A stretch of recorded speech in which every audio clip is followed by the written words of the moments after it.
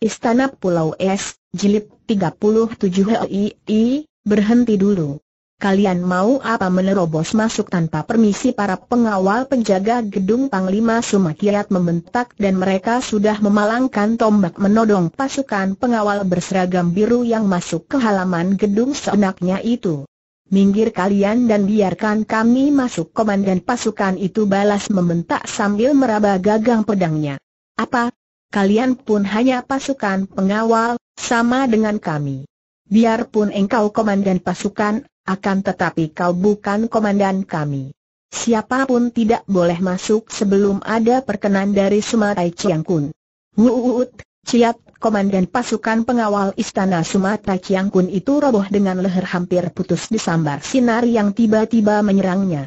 Tampaklah seorang laki-laki tinggi besar yang berpakaian mewah telah muncul di situ. Ketika para pengawal melihat laki-laki ini, mereka lebih kaget dari ketika melihat komandan mereka tewas tadi. Serta merta mereka menjatuhkan diri berlutut karena laki-laki itu bukan lain adalah Bu Koksu. Kini bermunculan pembantu-pembantu Koksu, para panglima tinggi, dan perwira yang memimpin banyak sekali pasukan pengawal yang telah mengurung gedung itu.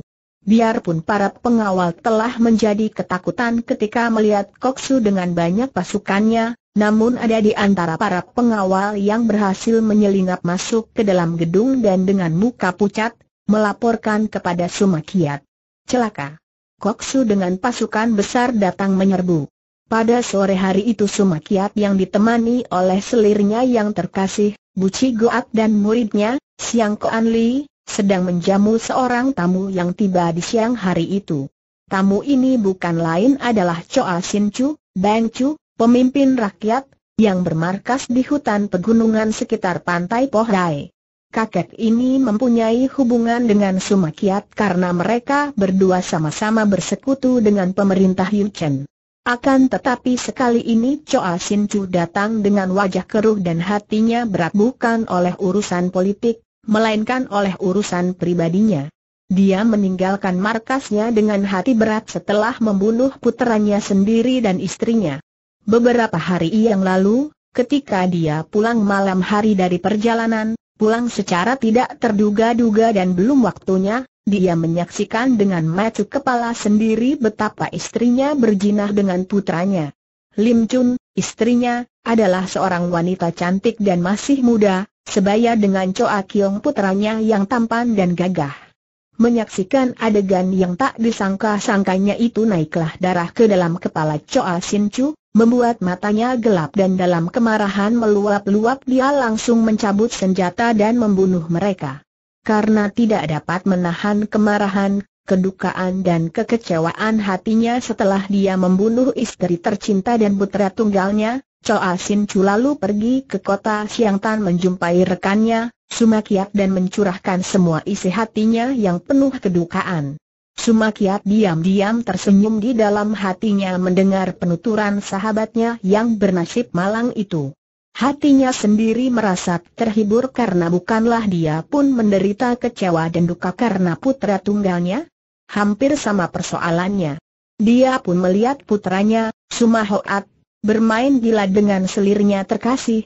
Akan tetapi dia tidak membunuh putra dan selirnya, dia terlalu mencinta selirnya, dan terlalu sayang kepada putranya dan dia merasa beruntung sekarang bahwa dia tidak terlanjur membunuh mereka karena kalau hal itu dia lakukan dahulu, agaknya dia pun akan merana dan berduka seperti halnya Choa Sin sekarang ini.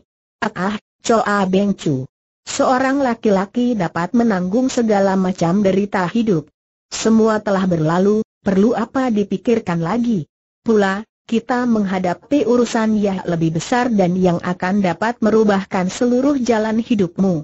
Kalau pemerintah Yuchen berhasil, tentu jasa kita takkan dilupakan. Setelah kelak engkau memperoleh kedudukan tinggi, apa sukarnya bagimu untuk hidup terhormat, mulia dan mewah, mengambil banyak wanita muda yang cantik dan, haha, memperoleh putra-putra lagi? Pada saat itulah, Pengawal yang berhasil lari masuk itu tiba di dalam ruangan dengan muka pucat dan napas memburu. Sumakiat memandang dengan marah, akan tetapi sebelum dia sempat menegur, pengawal itu telah melaporkan akan menyerbuan pasukan yang dipimpin sendiri oleh Bu Koksu. Mendengar itu Sumakiat meloncat dari kursinya diikuti oleh Bu Cigoat dan Siang Kuan Li. Dengan geram dia berkata kepada para penjaga, kumpulkan pasukan dan siap menghadapi pasukan Koksu kemudian dia sendiri setelah menyambar senjatanya, diikuti oleh selir dan muridnya. Mereka melangkah keluar meninggalkan Choa Sin Chu yang masih duduk dengan muka pucat mendengar berita buruk itu. Dia tidak berani keluar karena takut kalau-kalau mengacaukan cuan rumah, maka dia hanya menyelinap dan bersembunyi di balik pintu sambil mengintai dan mendengarkan. Setelah tiba di ruangan depan dan melihat Bu Koksu bersama pasukannya, Sumakiat mengangkat kedua tangan ke depan dada dengan sikap angkuh dan berkata suaranya dingin dan penuh teguran, Sungguh amat mengherankan sekali sikap Koksu yang datang berkunjung seperti ini, tanpa pemberitahuan dan secara memaksa. Apa kehendak Koksu? Biarpun dalam kedudukannya, dia kalah tinggi dan kalah berkuasa kalau dibandingkan dengan kedudukan Koksu, namun di antara para panglima tinggi, nama Sumakia telah amat dikenal sebagai seorang yang dekat dengan raja dan memiliki pengaruh dan kekuasaan tinggi.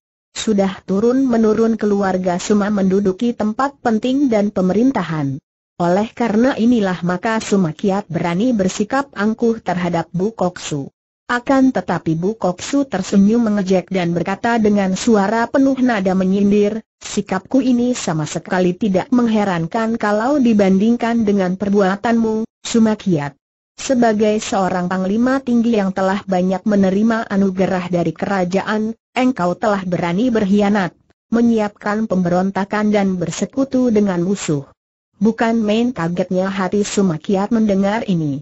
Dia memandang tajam dan menyangkal dengan suara keras karena dia mengira bahwa tentu Koksu hanya menuduhnya tanpa alasan atau hanya kira-kira saja, Bu Koksu. Harap engkau jangan mengeluarkan tuduhan dan fitnahan membabi buta. Semenjak dahulu keluarga Suma adalah keluarga Panglima yang selalu setia kepada Raja. Hahaha, mungkin dahulu demikian. Biarpun nama keluarga Suma tidaklah terlalu harum, akan tetapi belum pernah memberontak terhadap raja. Akan tetapi, sekarang agaknya engkau akan menjadi juara dalam mengotorkan nama keluarga Suma. Engkau bersekutu dengan kerajaan Yuchen, menjadi kaki tangan Pek Mau Senjin, koksu pemerintah Yuchen. Bohong. Fitnah palsu. Apa buktinya Sumakiat masih membantah dan menyangkal keras? Buktinya, Hahaha, masih mau bukti lagi setelah Pet Jiusin Kau dan Tian Ek Chin Jin, dua orang kaki tangan Choa Beng Chu yang menyelundup menjadi pengawalku itu mengaku sebelum mereka mampus di tanganku. Masih minta bukti setelah aku melihat sendiri anakmu, Suma Hoat membantu Pek Mau Senjin. Suma Kiat, pemberontak dan pengkhianat.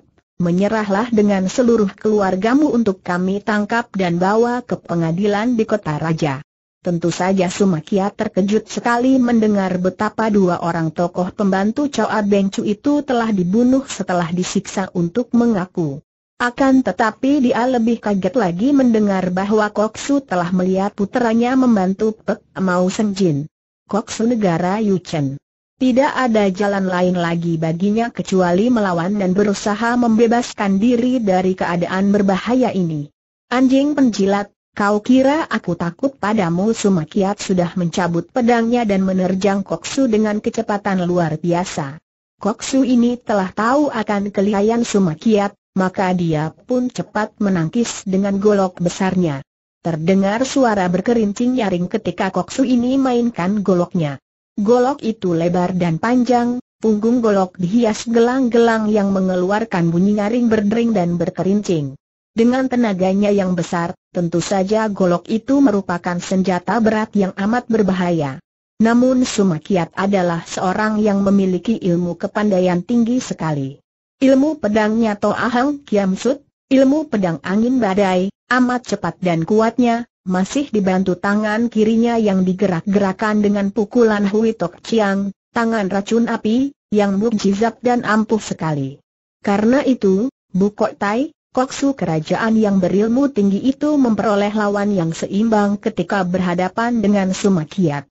Sumakiat memberi isyarat kepada pasukan-pasukan yang masih setia kepadanya sehingga para pasukan pengawal itu menerjang maju, disambut pasukan pengawal Koksu. Siang Keanli dan Buci Goat juga sudah mencabut senjata masing-masing dan mengamuk melawan para panglima yang dipimpin oleh Ang Hok Chu, Siu Chai Lihai yang menjadi murid Bu Koksu. Perang kecil yang mati-matian terjadi di ruangan depan dan halaman gedung itu. Akan tetapi jumlah pengawal yang masih setia kepada Sumakiat jauh lebih kecil jika dibandingkan dengan jumlah pengawal Bukoksu, apalagi karena sejumlah pengawal Sumakiat sudah menalu ketika melihat gelagat buruk, bahkan kini mereka membalik dan membantu para pengawal Bukoksu, menyerang bekas kawan-kawan sendiri dalam usaha mereka mencari keselamatan agar dosa mereka kelak diampuni.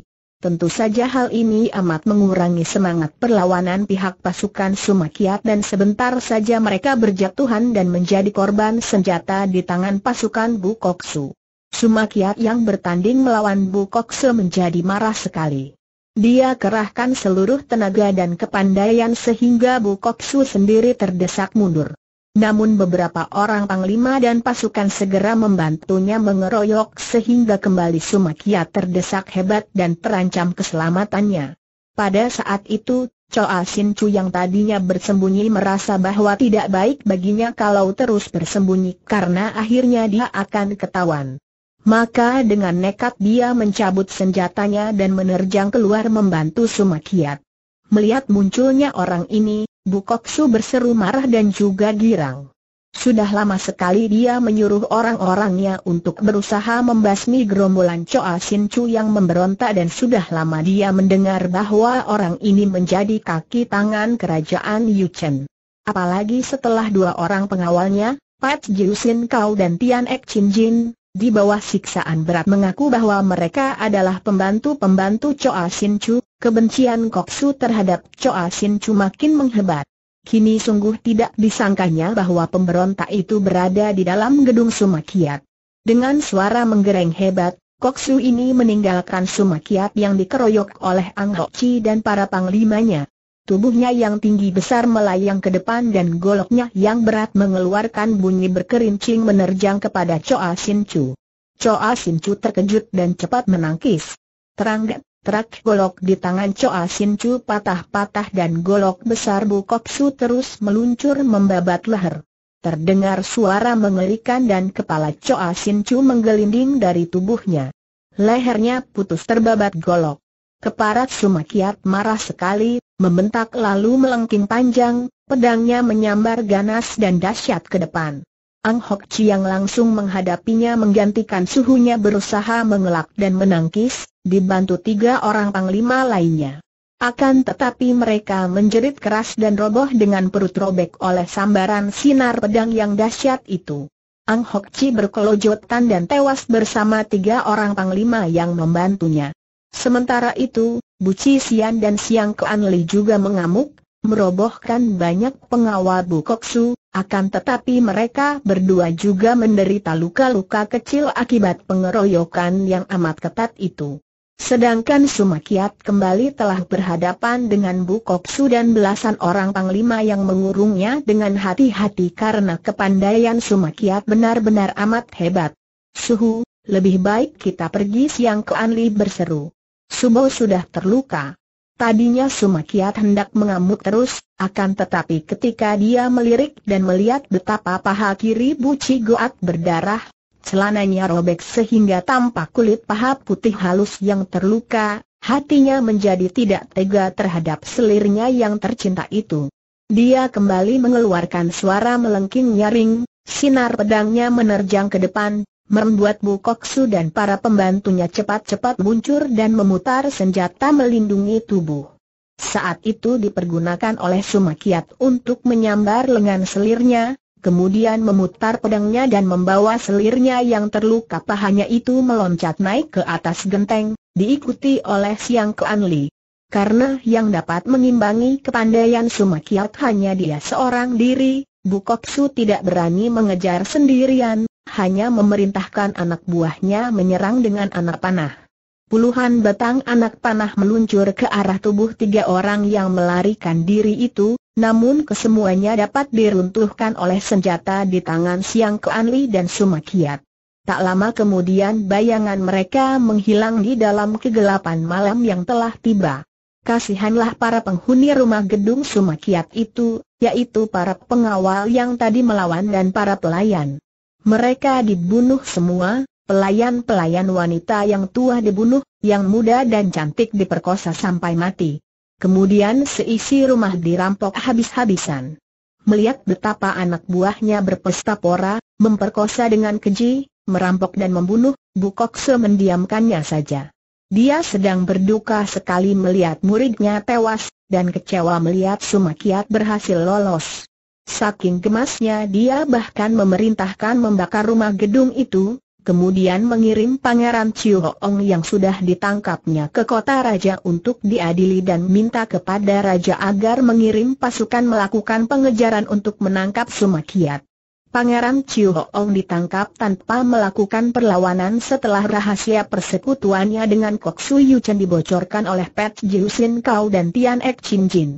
Dengan bantuan muridnya yang setia, Sumakiat berhasil mendapatkan tiga ekor kuda dan dengan cepat dia, selirnya, dan muridnya meninggalkan kota Siangtan, melarikan diri ke barat. Dapat dibayangkan betapa sengsara keadaan Buci Goat yang terluka pahanya itu, diharuskan melarikan diri siang malam tak pernah berhenti. Sumakiat maklum bahwa kini dia telah menjadi buronan kerajaan, dan tidak mungkin baginya muncul di dunia ramai karena tentu dia akan ditangkap sebagai seorang pengkhianat atau pemberontak. Satu-satunya jalan terbaik hanya pergi menyeberang ke daerah kerajaan Yuchen. Akan tetapi dia merasa enggan untuk menghambakan diri kepada bangsa Yuchen. Bukan demikianlah cita-citanya. Dia adalah seorang dari keluarga Suma yang terkenal angkuh dan tinggi hati. Kalau dia suka bekerja sama dengan Kok Su Yu Chen adalah karena dia ingin mempergunakan kekuatan Yu Chen untuk menggulingkan kedudukan kaisar, membantu Pangeran Chiu Hoong menjadi kaisar dan dia sendiri memperoleh kedudukan lebih tinggi, sedikitnya tentu menjadi seorang menteri. Kalau sekarang usaha itu gagal, dia tidak sudi merendahkan diri menjadi kaki tangan bangsa Yu Chen. Suhu, apakah tidak lebih aman bagi Suhu dan lebih baik bagi Subo yang sedang terluka kalau kita menyeberang saja dan minta bantuan Pek Mau Senjin di Yuchen Siang Ke Anli mengajukan usulnya di tengah perjalanan melarangkan diri itu. Sepasang alis yang sudah bercampur putih itu berkerut dan suara Sumakia terdengar marah ketika menjawab, Siang Ke Anli, ingat baik-baik pesanku. Aku adalah seorang pahlawan yang berjuang untuk rakyat dan negara. Kalau Kaisar Lalim, sudah sewajarnya kita memberontak untuk memilih Kaisar baru yang lebih baik. Untuk keperluan itu pun tiada salahnya kita mengharapkan bantuan bangsa asing. Akan tetapi itu hanya siasat, bukan berarti kita menghambakan diri kepada bangsa asing. Lebih baik mati daripada menjual negara kepada bangsa asing. Ingat baik-baik pendirianku ini karena engkaulah yang harus melanjutkan cita-citaku. Engkau bukan hanya muridku, bukan hanya pembantuku, melainkan kuanggap sebagai pengganti putraku sendiri yang akan kuarisi seluruh ilmu kepandaianku. Siang Keanli terkejut dan juga girang sekali. Terima kasih, Suhu, katanya terharu. Teocu bersumpah akan menaati dan melanjutkan cita-cita Suhu sampai mati. Dua hari kemudian, rombongan tiga orang ini terkejut ketika mendengar teriakan dari belakang dan derap kaki sekor kuda yang dibalapkan mengejar mereka. Tadinya mereka hendak mempercepat larinya kuda, akan tetapi ketika mendapat kenyataan bahwa pengejarnya hanya satu orang saja. Sumakiat menahan kudanya dan membalikan kuda menanti datangnya seorang pengejar itu. Ayah! Kiranya pengejar itu bukan lain adalah Sumahoat. Pemuda ini dengan muka dan baju basah oleh peluh karena melakukan pengejaran dengan cepat, kini memandang ayahnya, ibu tiri, dan murid ayahnya. Mereka bertiga yang duduk di atas kuda memandang pemuda itu dengan wajah dingin dan sinar mata mengandung penuh penasaran. Ayah, aku, aku mendengar akan penyerbuan Bu Koksu. Aku cepat ke Siangtan, tapi terlambat, lalu mengejar ayah. Tutup mulutmu dan jangan sekali-kali menyebut ayah kepadaku, manusia keparat Sumakiat membentak penuh kemarahan. Sumahoat terbelalak kaget, wajahnya pucat. Ayah, mengapa? Cukup. Sekali lagi menyebut ayah, ku bunuh engkau. Manusia laknat, anak durhaka, karena engkaulah kami menjadi begini. Karena Kokse melihatmu bersama Pek Mau Senjin maka rahasiaku terbongkar. Agaknya engkau dilahirkan hanya untuk mencelakakan orang tua saja. Mulai saat ini, engkau bukan putraku lagi dan terkutuklah engkau, akan sengsaralah engkau selama hidupmu. Ayah Ah Sumahoat bergidik ngeri mendengar kutukan ayahnya. Cet, cet, cet tiga sinar menyambar ke arah Sumahoat. Pemuda ini kaget dan maklum bahwa dia telah diserang dengan senjata rahasia oleh ibu tirinya. Tiada waktu lagi untuk menangkis, maka dia cepat melempar tubuhnya dari atas kuda, berjungkir balik dan berhasil menghindarkan diri dari sambaran tiga sinar yang berupa jarum-jarum beracun itu. Akan tetapi kudanya meringkik keras lalu roboh berkelojotan, dada dan perutnya menjadi sasaran jarum-jarum beracun. Sumakiat melarikan kudanya diikuti oleh Buci Goat dan Siang Keanli. Sumahoat hanya dapat memandang dengan hati penuh duka. Dua kali dia bentrok dengan ayahnya. Yang pertama kali dia diusir, kini, setelah dia mengorbankan perasaannya membantu ayahnya mengadakan persekutuan dengan pemerintah Yuchen, hal yang sama sekali tidak disukainya dan yang hanya ia lakukan demi menyenangkan hati ayahnya, kembali ayahnya marah dan bahkan mengutuknya. Sejenak pemuda itu hanya berdiri mengikuti bayangan tiga ekor kuda itu dengan wajah pucat, kemudian ia menarik napas panjang, mengeluh di dalam hatinya dan menutupi muka dengan kedua tangannya. Hancurlah dunianya, habis semua pengharapannya. Hatinya sudah remuk oleh kegagalan cintanya. Hanya ada tiga orang wanita di dunia ini yang pernah dicintanya, yaitu Chokim Hwa, kemudian KH Xiao Blee dan Maya. Namun ketiganya gagal, Chiok Kim Hwa yang membalas cintanya tewas. Xiao Blee dan Maya yang telah menjatuhkan hatinya itu, tidak dapat membalas cintanya karena mereka telah memiliki pilihan hati masing-masing. Kini, ayah kandungnya, satu-satunya orang yang akan dapat didekatinya, bahkan mengutuknya dan tidak mengakuinya sebagai anak lagi. Apalagi artinya hidup ini baginya? Siapakah yang harus disalahkannya? Koksu Bukotai. Tidak mungkin. Diam-diam dia merasa kagum kepada Bu Koksu dan merasa iri hati melihat kesetiaan dan kegagahan Bu Koksu. Mengapa ayahnya tidak dapat bersikap seperti Bu Koksu, seorang pendekar dan pahlawan sejati? Orang-orang gagah seperti Bu Koksu adalah orang-orang segolongan dengan mendiang Menteri Kam Leong yang terkenal karena kesaktian dan kesetiaannya terhadap nusa bangsa. Tidak seperti ayahnya. Mengapa dia mau saja membantu ayahnya yang bersekutu dengan pihak Yuchen? Andai kata dia tidak hendak berbaik kembali dengan ayahnya, tidak hendak menyenangkan hati orang tua itu, tentu saja dia tidak akan sudi membantu persekutuan kotor itu. Sumahoat menghela napas panjang dan meninggalkan tempat itu dengan wajah pucat, pandang mata sayur dan tubuh lesu. Habis harapannya untuk mendekati ayahnya lagi. Orang tua itu sudah terlampau marah. Dengan ibu tirinya dan siang keanli di dekat orang tuanya, tidak ada harapan baginya untuk meredakan kemarahan ayahnya. Ibu tirinya dan siang keanli amat benci kepadanya, dan mereka tentu akan membakar terus hati ayahnya. Sumahoat sama sekali tidak tahu dan tidak pernah mengira bahwa keadaan hidup ayahnya sendiri amatlah sengsara semenjak terjadinya peristiwa itu.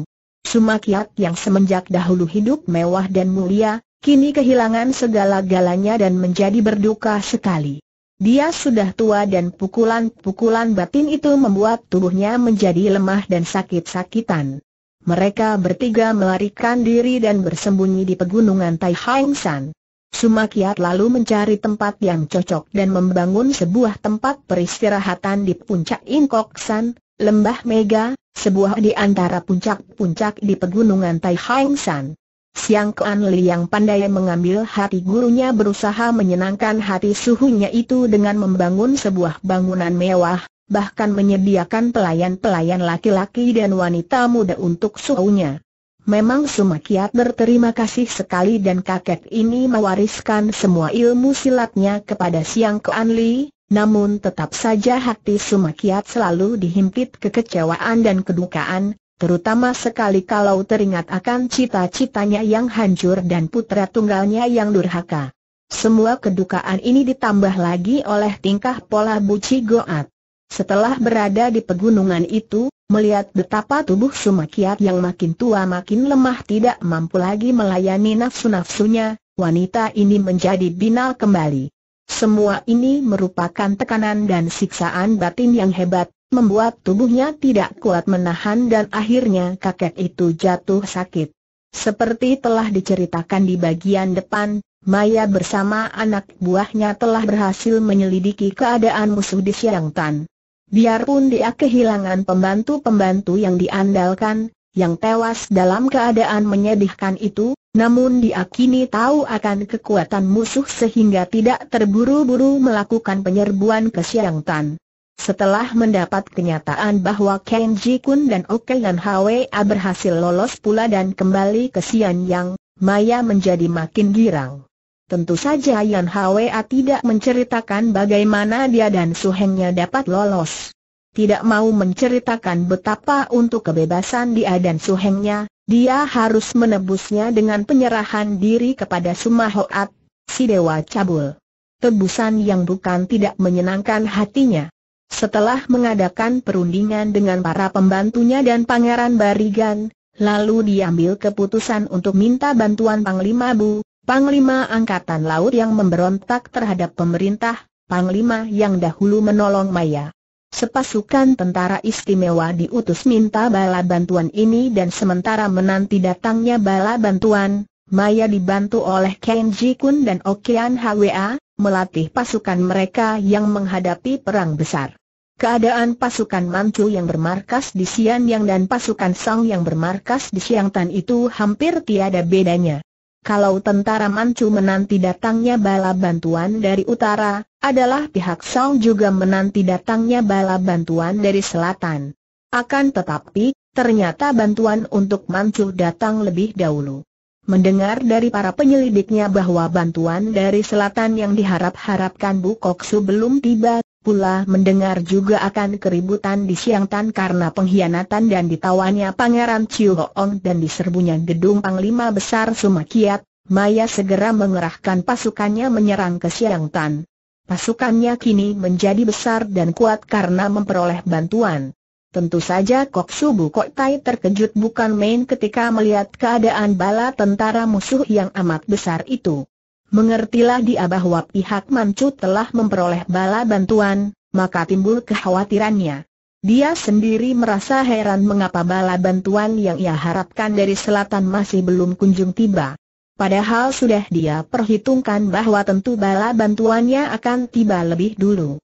Terpaksa Bukok Su lalu mengerahkan segala kekuatan pasukannya, sebagian menyambut musuh di luar tembok benteng, sebagian lagi menjaga benteng dan siap mempertahankan kota Siang Tan dengan mati-matian.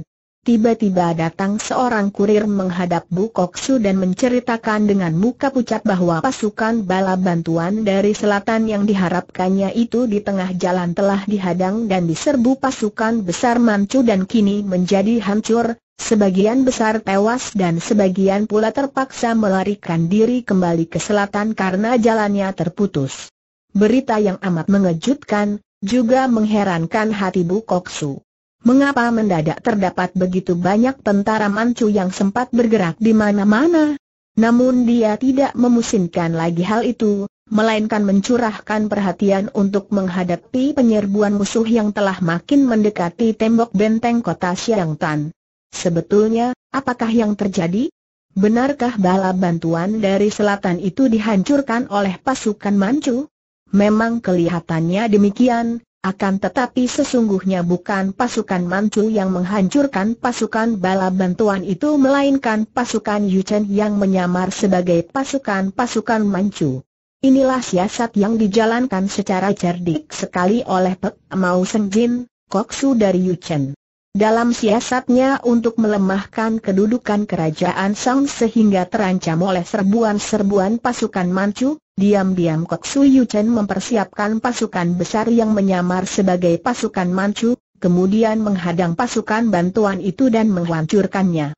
Dia sendiri diam-diam berkunjung ke kota Raja Sang di selatan dan menawarkan bantuannya untuk menyelamatkan Siang Tan dan mengusir pasukan-pasukan Manchu dengan syarat agar kerajaan Sang suka menyerahkan daerah yang luas di daerah utara Siang Tan kepada kerajaan Yuchen. Karena Siang Tan merupakan benteng yang amat penting bagi pertahanan kerajaan di selatan, dalam keadaan terjepit itu Kaisar tidak dapat menolak dan menerima uluran tangan bantuan ini berikut syaratnya. Pek Mau Senjin girang sekali, lalu mengerahkan pasukan-pasukannya yang kini telah meninggalkan pakaian penyamaran mereka sebagai pasukan Manchu dan dengan cepat melakukan perjalanan menuju Siang Tan yang sudah terancam dan terkepung oleh pasukan Manchu. Bukokse memimpin sendiri pasukan yang menyambut penyerbuan pasukan Manchu di luar tembok benteng. Perang yang seru dan hebat terjadi di luar tembok benteng. Perang yang terjadi sampai belasan hari lamanya, hanya berhenti di waktu malam untuk dilanjutkan pada keesokan harinya. Akan tetapi akhirnya Bukoksu harus mengakui keunggulan musuh yang mempunyai jumlah pasukan jauh lebih besar. Terpaksa Bukoksu menarik sisa pasukannya memasuki benteng, menutup pintu-pintu gerbang benteng dan memperkuat penjagaan. Maya memimpin pasukan-pasukannya. Diam-diam ia merasa kagum akan kepandaian Bukokse mengatur pasukan sehingga pasukan yang lebih kecil itu mampu bertahan sampai belasan hari. Kini Maya menyusun pasukan-pasukannya mengurung kota Siangtan dan mulailah penyerbuan-penyerbuan untuk membobolkan benteng kota. Namun ternyata bahwa benteng itu kuat sekali, terbuat dari tembok yang tebal dan terjaga ketat dengan barisan-barisan anak panah yang melepaskan anak panah dari tempat terlindung sehingga setiap penyerbuan pasukan Manchu selalu dapat digagalkan dan benteng masih dapat dipertahankan. Kembali belasan hari lewat dan benteng kota Siangtan masih juga belum dapat direbut oleh pasukan Manchu. Akan tetapi pihak pasukan yang dipimpin Bu Koksu sudah gelisah sekali. Kota telah dikurung, hubungan luar kota sudah terputus sama sekali dan mereka tidak hanya terancam oleh penyerbuan-penyerbuan lawan, akan tetapi yang lebih mengkhawatirkan lagi, terancam oleh kelaparan karena gudang ransum yang setiap hari dikurung tanpa ada penambahan itu makin menipis isinya. Keadaan yang mengancam ini membuat semangat perlawanan pasukan Bukokse menurun dan akhirnya, tanpa dapat dipertahankan lagi, ketika Maya mengerahkan pasukan intinya menyerbu, bobolah pintu terbesar dan membanjirlah pasukan Manchu menyerbu kota Siangtan diiringi sorak-sorai yang memekakkan telinga. Kini perang hebat pecah di dalam kota. Suara senjata beradu diseling bentakan dan makian bercampur pekik kesakitan dan keluhan maut mengatasi tangis dan jerit para penduduk kota yang lari ke sana sini kacau balau mencari keselamatan keluarga masing-masing. Maya yang menunggang seekor kuda putih, mengamuk dengan pedangnya. Kudanya meringkik-ringkik, lari ke sana sini, didahului sinar pedang di tangan panglima wanita itu. Ke mana pun sinar pedangnya menyambar, tentu mengakibatkan robohnya seorang perwira musuh. Menyaksikan sepak terjang panglima wanita yang hebat ini, Bukokse menjadi marah sekali.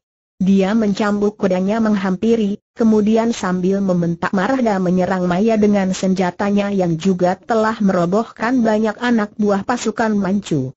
Maya menyambut serangan ini dengan pedangnya dan terjadilah pertandingan dahsyat antara kedua orang pimpinan kedua pasukan yang sedang berperang itu. Akan tetapi pertandingan di antara mereka kurang leluasa karena di situ penuh dengan tentara kedua pihak yang saling terjang, sehingga sering kali mereka terpaksa mundur dan terpisah kembali untuk melayani tentara musuh yang mengepung. Maya sendiri merasa penasaran bahwa sampai lama dia tidak dapat merobohkan Bukoksu, maka dia lalu berseru menantang, Bukoksu, kalau memang engkau gagah, mari kita bertanding di luar tembok sampai seorang di antara kita roboh binasa. Anjing betina mancu, siapa takut kepadamu Bu Kokse membentak. Maya mengaburkan kudanya keluar pintu gerbang yang sudah bobol, dikejar oleh Bu Koksu. Setibanya di lapangan yang luas di luar tembok, Maya berhenti dan begitu Bu Koksu yang mengejarnya tiba, dia langsung mengejar dengan ganasnya dan kembali dua orang perkasa ini bertanding dengan seru dan dahsyat. Andai kata mereka bertanding ilmu silat biasa, tidak di atas kuda, betapapun lihainya Bu Koksu agaknya bukanlah lawan Maya dan tak mungkin dia dapat bertahan sampai ratusan jurus. Akan tetapi bertanding di atas punggung kuda lain lagi halnya.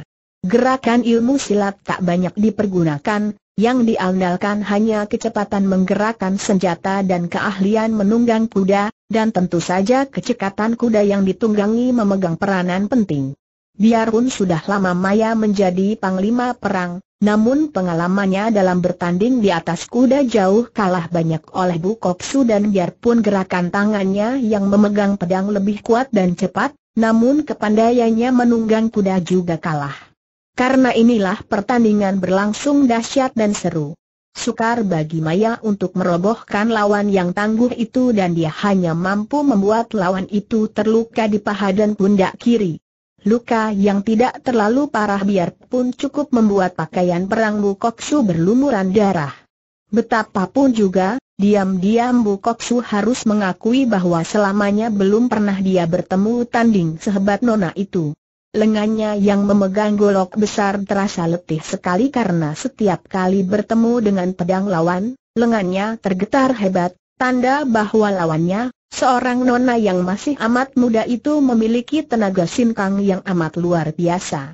Namun dia tidak mengenal takut, mengambil keputusan untuk berkelahi sampai titik darah terakhir membela negaranya. Bukoksu, bersiaplah untuk mampus Maya berseru keras, Kudanya meloncat ke depan dan pedangnya menyambar dengan sinar berkilat. Tidak begitu mudah keparat Bu Kokse membentak dan menangkis. Terangger untuk kesekian ratus kalinya, pedang Maya bertemu dengan golok besar di tangan Bu Koksu.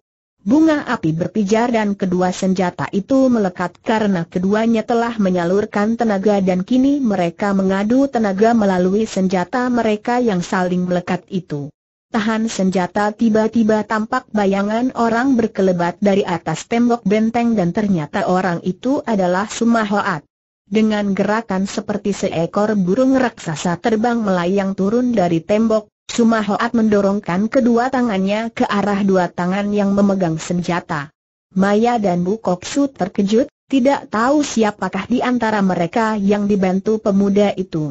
Maka keduanya lalu menarik senjata masing-masing, menahan kuda dan memandang Sumahoat yang telah berdiri di antara mereka dengan alis berkerut. Sudah sejak tadi Sumahoat menonton pertandingan hebat antara Bu Koksu dan Maya. Dia berhasil menyelundup masuk ke kota Siangtan dan menyamar sebagai seorang perwira.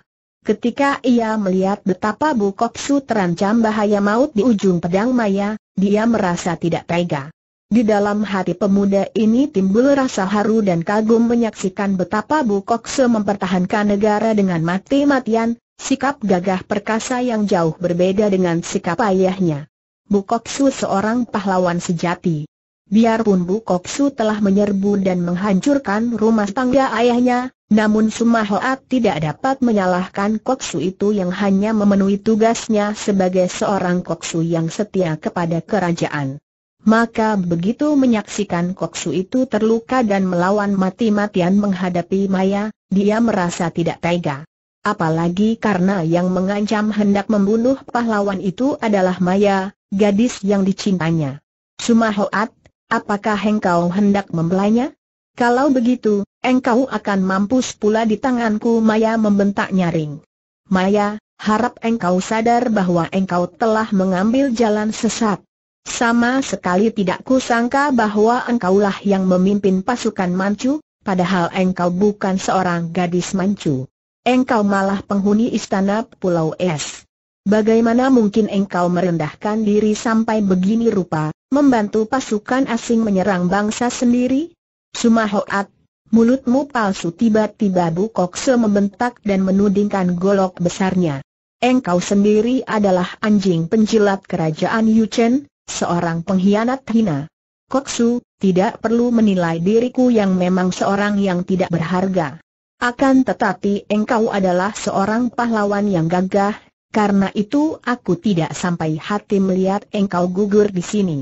Sedangkan Nona Maya adalah penghuni istana Pulau Es, tidak semestinya menjadi pengkhianat. Karena mengingat akan keadaan kalian berdua, maka aku memberanikan diri untuk melerai. Nona Maya, demi nama besar pendekar sakti suling emas, pendekar sakti mutiara hitam, demi nama Bukek Siansu. Jangan sebut-sebut nama guruku Maya membentak. Diam-diam Bu Koksu terkejut bukan main karena sama sekali dia tidak pernah menyangka bahwa lawannya yang lihai ini adalah penghuni istana Pulau Es yang hanya didengarnya seperti dalam dongeng, apalagi murid manusia Dewa Bukek Siansu. Nona Maya, aku hanya mengharap agar engkau suka insyaf dan tidak membantu Mancu untuk menghancurkan bangsa sendiri. Cukup. Aku memang sengaja menggunakan pasukan Manchu untuk menghancurkan kerajaan Sang. Engkau tahu, akulah Putri Maya, akulah Putri Raja Hitan. Kerajaan Hitan telah hancur karena pemerintah Sang, Mongol, dan Yuchen. Aku telah bersumpah untuk membasmi ketiga kerajaan itu. Bukan sekali-kali aku menghambakan diri dan menjadi pengkhianat membantu Manchu, melainkan untuk membalas dendamku. Nah, Sumahoat, engkau sebagai putra Sumakiat musuh besarku, telah kuampunkan. Sekarang minggirlah. Kembali Maya menyendal kendali kudanya sehingga binatang itu meloncat ke depan dan dia sudah menyerang Bukoksu dengan kelebatan pedangnya secara bertubi-tubi. Bukoksu tadinya berdiri tercengang, akan tetapi siapa pun adanya wanita ini, kalau dia berdiri di pihak Mancu berarti musuhnya dan harus dilawan mati-matian. Terang kering terang pedang dan golok beradu bertubi-tubi dan Sumahoat menjadi bingung, tidak tahu harus membantu siapa. Sumoy, tampak bayangan berkelebat dan tahu-tahu kedua orang yang sedang bertanding itu terpental ke belakang karena tertolak oleh tenaga yang amat dahsyat, membuat tubuh mereka terlempar dari atas punggung kuda. Namun berkat ilmu kepandaian mereka yang tinggi, Bukoksu dan Maya tidak terbanting roboh, hanya berjungkir balik dan berdiri dengan senjata siap di tangan. Suheng Maya berseru dengan muka berubah pucat ketika melihat siapa orangnya yang membuat dia terpental tadi. Kam Xiao Tebu Koksu juga berseru kaget dan girang, mengharapkan bantuan orang yang dia tahu amat sakti ini. Akan tetapi Han Ki, pemuda yang baru datang itu, tidak mempedulikannya, melainkan menghampiri Maya dan memandang dengan alis berkerut. Maya Sumoy, mengapa engkau masih juga melanjutkan kesesatanmu? Tidak malukah engkau? Tidak ingatkah bahwa engkau adalah keturunan orang-orang gagah perkasa yang lebih baik mati daripada melakukan pengkhianatan? Di dalam tubuhmu mengalir darah Kitan dan Hon, bagaimana sekarang engkau dapat membantu Mancu untuk menghancurkan bangsa sendiri? Suheng, engkau boleh melupakan segala dendam, akan tetapi aku tidak. Orang tuaku, kerajaan ayahku, telah hancur oleh kerajaan Sang. Kalau belum membasmi kerajaan Sang, aku belum puas. Engkau keliru, Sumoy. Bukan kerajaan Sang yang menyebabkan kehancuran kerajaan Hitan, melainkan perang dan pengkhianatan. Dan perang ditimbulkan bukan oleh siapa-siapa, melainkan oleh manusia sendiri, oleh engkau dan aku dan kita semua ayah bundamu gugur sebagai pahlawan-pahlawan yang membela bangsa dan negara. Apakah Hengka sekarang hendak gugur sebagai seorang pengkhianat? Pucat sekali wajah Maya ketika dia memandang suhengnya. Suaranya tersendat-sendat ketika dia berkata, Suheng, engkau terlalu. Engkau tahu mengapa aku sampai menjadi begini? Engkau tahu mengapa aku sampai meninggalkan Pulau Es Engkau tahu pula mengapa aku melanjutkan semua ini setelah berjumpa denganmu di medan perang. Mengapa engkau hendak menyalahkan aku saja dan sama sekali tidak ingat bahwa engkaulah gara-gara semua ini? Engkau menolak untuk membawaku sendiri saja ke Pulau Es, engkau ragu-ragu dalam cintamu terhadap diriku, padahal hanya engkau seorang harapanku. engkau telah menghancurkan harapan dan cintaku, engkau, Maya menggigit bibir terisak dan tiba-tiba dia menekuk pedang dengan kedua tangannya. Krek pedang itu patah berkeping-keping dan berbuangnya ke atas tanah. Lat, seperti itulah hatiku, Suheng. Sekarang tinggal hanya dua pilihan bagiku. Kalau engkau suka bersamaku, berdua saja kembali ke Pulau Es, Aku akan meninggalkan semua ini dan selamanya akan tunduk kepadamu. Kalau engkau menolak lagi, aku akan melanjutkan perang ini dan akan mengamuk terus sampai mati. Oh seruan ini keluar dari mulut Sumahoat. Wajah pemuda itu pucat sekali. Kiranya Maya, gadis terakhir yang menjatuhkan hatinya, yang dicintanya, yang diharapkan akan dapat membalas cintanya, kiranya telah mencintakan Hongki, seperti halnya KHU Xiao Bwe. Han Ki sendiri sudah menduga akan pendirian Maya seperti itu. Dia merasa tidak baik untuk berbantahan di depan banyak orang, maka dia hanya berkata, Sumoy, mari ikut aku pergi tubuhnya berkelebat ke depan. Maya terkejut dan berusaha meronta melepaskan diri. Akan tetapi Han Ki telah menotoknya dan berlari pergi cepat sekali, membawa tubuh Sumoynya dalam kempitan. Kam Tai Hiap, tunggu Sumahoat berteriak, kemudian tubuh pemuda ini juga berkelebat lenyap. Dia mengerahkan seluruh kepandaian untuk mengejar Kam Hon Ki, akan tetapi tentu saja dia tertinggal jauh sekali. Namun, Sumahoat terus mengejar sambil berseru-seru memanggil. Hatinya menjadi penasaran sekali. Mana mungkin Kam Hon Ki menerima cinta kasih dua orang gadis itu? Biarlah Kam Hon Ki memilih seorang di antara mereka, dan yang seorang lagi, tidak peduli yang mana karena dia sudah tergila-gila dan jatuh cinta kepada kedua orang gadis itu, biarlah menjadi istrinya kalau ditolak oleh Kam Hon Ki, penghuni istana Pulau Es. Perang berlangsung terus biarpun Maya telah pergi. Akan tetapi tentu saja semangat berjuang para pasukan Manchu telah menurun hebat setelah panglima wanita yang mereka agungkan dan agulkan itu lenyap. Apalagi setelah muncul pasukan Yuchen yang membantu bala tentara Sang, pihak Manchu menjadi kewalahan dan terpaksa melarikan diri setelah meninggalkan banyak anak buah pasukan yang roboh.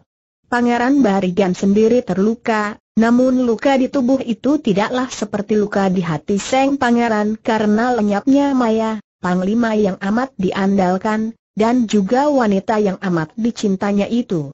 Air laut di sekeliling pulau itu tenang sekali dan di sana-sini tampak gumpalan es sebesar bukit, mengambang tidak bergerak. Pulau es tampak sebagai seorang raksasa putih, atau sebuah patung raksasa terbuat dari batu pualam putih sedang tidur telentang. Sinar matahari yang tertutup awan tipis dan kabut laut masih cukup kuat untuk menimpa permukaan pulau es, membuat pulau yang aneh itu berkilauan permukaannya. Bangunan istana di tengah pulau yang telah lama ditinggalkan penghuni-penghuninya sehingga hampir tertutup dan tertimbun salju tak terurus, kini tampak bersih kembali setelah Hongki, bersama dua orang semuanya kembali ke pulau. Biarpun kadang-kadang hatinya menjadi panas dan cemburu kepada Xiao Bwe kalau teringat akan cinta kasihnya kepada Han Ki, namun begitu bertemu dengan Xiao Bwe di Pulau Es, Maya segera menubruk dan memeluknya. Demikian pula dengan Xiao Bwe yang merasa terharu dan rindu kepada sucinya itu. Dua orang ini pernah tinggal sampai bertahun-tahun di atas Pulau Es sebagai saudara, senasib sependeritaan. Hanya karena cinta dan cemburu saja mereka bermusuhan dan timbul rasa benci di hati mereka. Kini setelah berpisah lama, perjuangan antara mereka mendatangkan rasa terharu dan timbul kembali rasa kasih sayang di antara mereka. Sumoy, aku banyak salah kepadamu, maafkan aku, Sumoy. Aih, Suci, jangan berkata demikian. Akulah yang telah banyak kesalahan kepadamu, Suci. Akulah yang mohon maaf kepadamu. Han Kim menarik napas panjang menyaksikan pertemuan antara kedua orang sumoinya itu. Nah, begitulah, kedua sumoiku yang baik. Antara saudara sewajarnya saling mengalah dan saling memaafkan kalau ada kesalahan. Kita bertiga senasib, bertahun-tahun melatih diri di pulau ini sesuai dengan kehendak suhu. Karena itu baru bahagialah hidupku melihat kita bertiga dapat kembali di sini. Begitu dua orang darah itu mendengar suara Hanki dan kini melepaskan pelukan menoleh ke arah pemuda itu, timbullah kembali persoalan rumit yang mengganggu hati mereka. Hampir berbareng keduanya membentak, akan tetapi, Suheng. Hanki cepat mengangkat kedua tangan ke atas. Cukup, bukan waktunya kita bicara. Biarlah kelak kita bicarakan urusan yang menyangkut antara kita dengan tenang dan perlahan-lahan. Sekarang yang terpenting adalah membereskan dan membersihkan istana Pulau Es lihat betapa kotor dan tak terpelihara semenjak kalian berdua pergi meninggalkannya, Hanki menudingkan telunjuknya. Ketika dua orang darah itu memandang dan menyaksikan keadaan istana tua itu, mereka menjadi terharu dan tanpa banyak membantah mereka berdua membantu Honki membersihkan istana itu.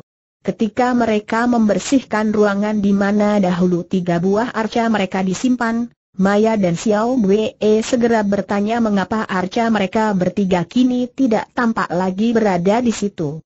Han Kim menarik napas panjang ketika menjawab, gara-gara kalian berdua meninggalkan aku seorang diri di sini, hatiku merana setiap hari, apalagi kalau aku melihat arca kita bertiga yang masih berkumpul di sini.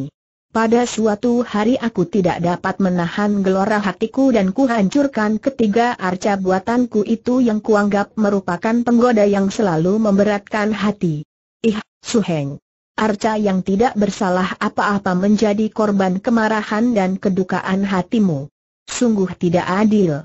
Aku yang bersalah mengapa arcaku yang dihancurkan Xiao Blei mencela. Sumoi benar. Akulah yang menjadi gara-gara, Mengapa arcaku yang amat baik itu, yang tidak berdosa apa-apa, dihancurkan? Suheng, kau harus membuatkan arcaku lagi yang baru Maya juga mencela. Han Ki tersenyum. Senyum yang sudah lama sekali meninggalkan bibirnya semenjak dia ditinggalkan dua orang semuanya, senyum gembira. Jangan khawatir, aku telah siap untuk membuatkan gantinya yang lebih indah lagi. Untuk keperluan itu, aku sudah mendapatkan bahannya, yaitu batu pualam putih yang kudapatkan di atas pulau tak jauh dari sini. Inilah batu-batu itu dia memperlihatkan tiga bongkah batu pualam putih yang bersih dan indah sehingga kedua orang darah itu memandang berseri dan lenyap kekecewaan mereka. Setelah selesai membersihkan istana Pulau Es, Hanki menurunkan latihan ilmu Suat Im Sin Kang yang menghimpun tenaga sakti yang dingin, merupakan inti dari hawa dingin di Pulau Es dengan memiliki sinkang ini, kalian akan menjadi jauh lebih kuat, dan tidak percuma menjadi penghuni istana Pulau Es latihan ini tidak ringan, karena kalian harus berlatih siang malam di tempat terbuka, terutama sekali pada tengah malam. Kalian dapat menyedot inti hawa dingin salju di waktu hawa sedang dinginnya. Im Kang yang kalian miliki dahulu itu sudah cukup kuat untuk menjadi dasar, sehingga untuk dapat melatih Suat Im Sin Kang dengan sempurna, kalian hanya memerlukan waktu tiga bulan. Mari kuajari cara berlatih dan kupimpin untuk memberi contoh semalam ini. Nanti dulu, Su Heng, tiba-tiba Maya berkata, suaranya bersungguh-sungguh sehingga Han Ki dan Xiao Bwe mendengarkan penuh perhatian. Mereka bertiga duduk bersila di atas tanah yang tertutup salju, duduk begitu saja karena memang demikian yang dikehendaki Han Ki untuk melatih Suat Im Sin Kang. Kau hendak bertanya tentang apa? Maya Sumoy Han Ki bertanya. Su Heng, kurasa engkau lupa bahwa aku dan Sumoy bukanlah kanak-kanak lagi seperti beberapa tahun yang lalu sehingga luculah kalau Su Heng memperlakukan kami seperti dua orang anak perempuan yang masih kecil. Memang latihan Suat Im Sin Kang seperti yang Su Heng terangkan amat penting bagi kemajuan ilmu-ilmu kami, akan tetapi ada hal yang jauh lebih penting lagi yang Su Heng lupakan, atau sengaja Su Heng lewatkan begitu saja sebagai hal yang tidak penting. Han Ki memandang tajam, hatinya merasa tidak enak. Maya Sumoy, apakah maksudmu? Hal apakah yang kulupakan? Su Heng, Lupakah engkau untuk apa engkau mengajak aku ke pulau ini? Apa pula artinya engkau mengajak Sumui pulang ke pulau Es? Su Heng, Bukankah aku pernah menyatakan bahwa aku hanya mau kembali ke Pulau Es bersamamu, meninggalkan semua urusan dendam pribadi, kalau engkau mau menerima aku sebagai istrimu. Maya Sumoy, Suheng, kuulangi lagi. Aku dan Sumoy bukanlah anak-anak kecil lagi tak perlu kiranya dirahasiakan lagi karena memang bukan rahasia bagi kita bertiga bahwa aku mencintamu, Suheng, juga bahwa KHU Sumoy mencintamu pula. Adapun engkau sendiri, sikapmu sungguh menyakitkan hati. Engkau kelihatan mencintaku, akan tetapi juga menyayang Sumoy. Hal ini tidak bisa dilanjutkan tanpa pernyataanmu untuk menentukan, untuk mengambil keputusan. Sebenarnya, siapakah di antara kami yang Suheng cinta dan pilih untuk menjadi istri? Han Ki menjadi pucat wajahnya, sedangkan Xiao Bue yang tadinya berseri karena merasa yakin bahwa tentu Suhengnya yang jelas telah menyatakan cinta kasihnya kepadanya, akan terang-terangan memilih dia, kini menjadi cemas melihat Suhengnya kelihatan bingung.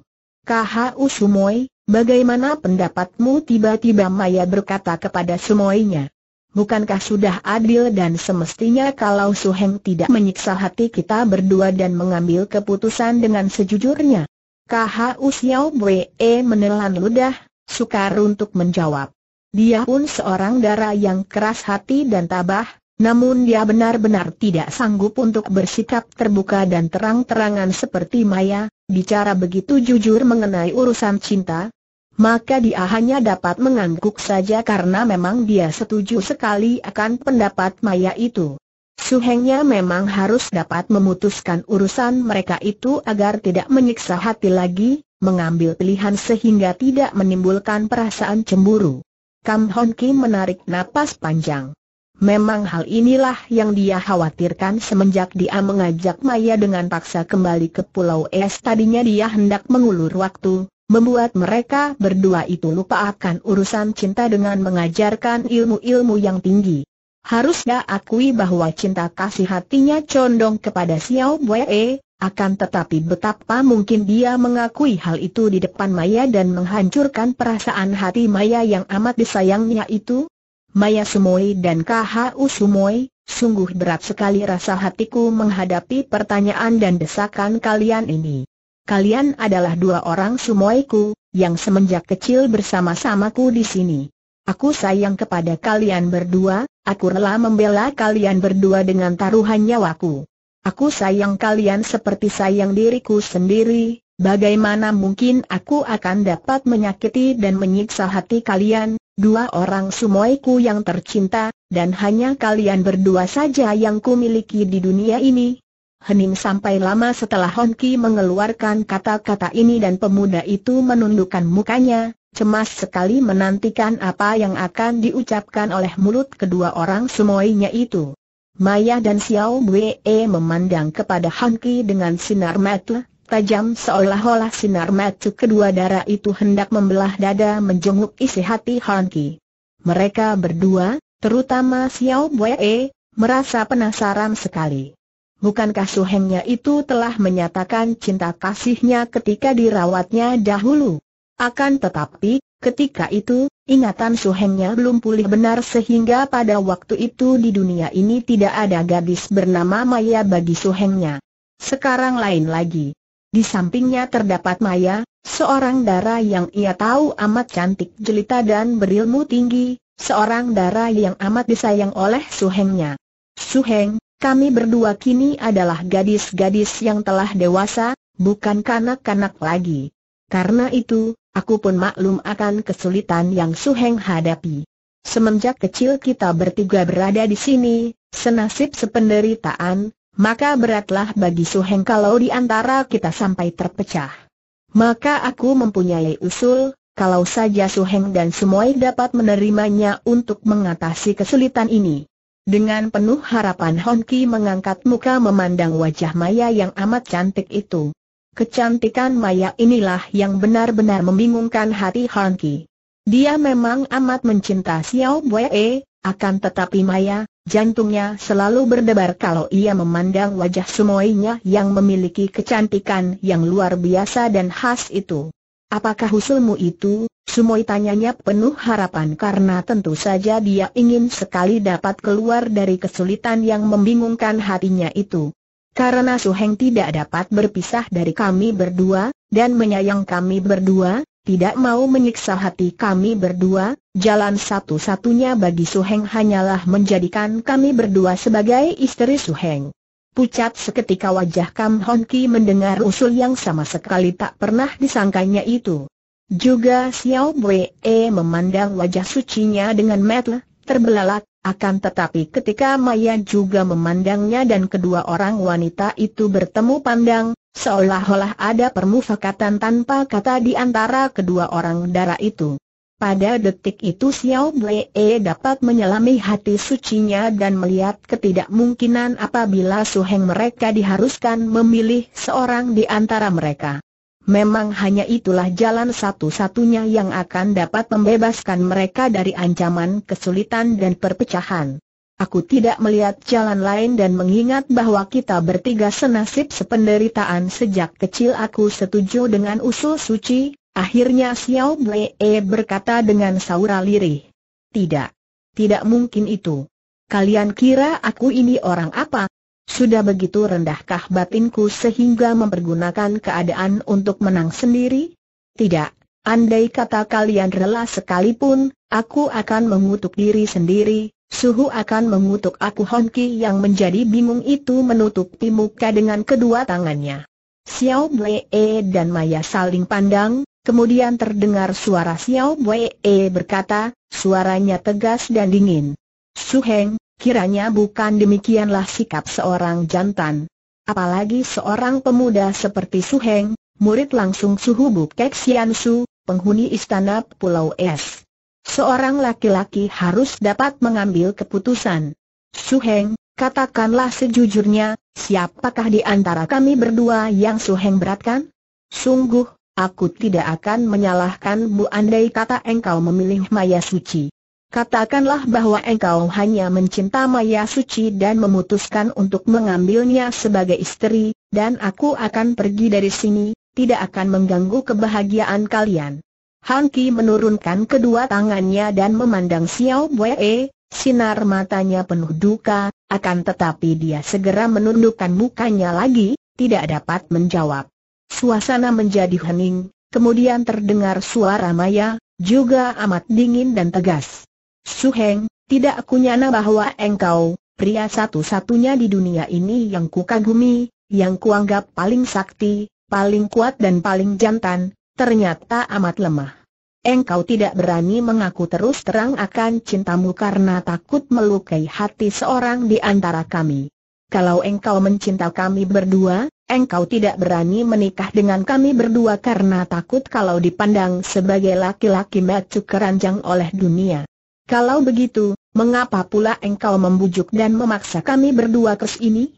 Mengapa tidak kau biarkan saja kami mengembara dan menjauhkan diri darimu yang menyiksa hati kami dengan keraguan? Suheng, perlu apa engkau menghibur kami dengan melatih ilmu-ilmu tinggi? Kami bukan anak-anak kecil lagi, bukan itu yang kami butuhkan. Maya suci benar.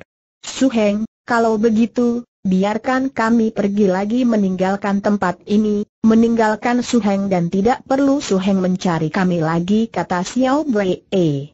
Dua orang darah itu sudah meloncat berdiri siap untuk pergi meninggalkan pulau es nanti dulu Han Ki juga meloncat berdiri, mukanya pucat dan matanya sayu. Maya. Xiao Bwei. Berilah waktu padaku. Kalian tidak tahu betapa berat dan sukar bagiku untuk mengambil keputusan dalam hal ini.